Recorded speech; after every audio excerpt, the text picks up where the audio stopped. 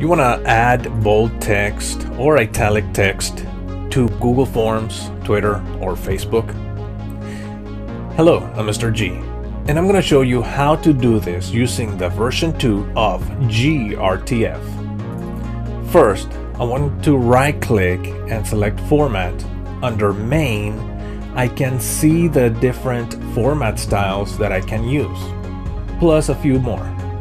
Wide is going to be very important for those students that are learning to read or for students that have a difficulty reading.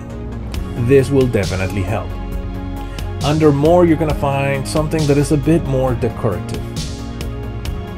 So for now, I'm going to select Main Sans Bold. The way it works is I can right click and paste, or the other way, I'm going to select Format, bold. This time I'm going to do serif bold and use the key combination Control V to paste. Same thing over here. I'm going to select the type of text that I want. Control V. Or I can also do right click and paste.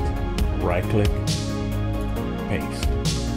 Every time after I select the type of formatting, I just either Control V or right click, right click and paste.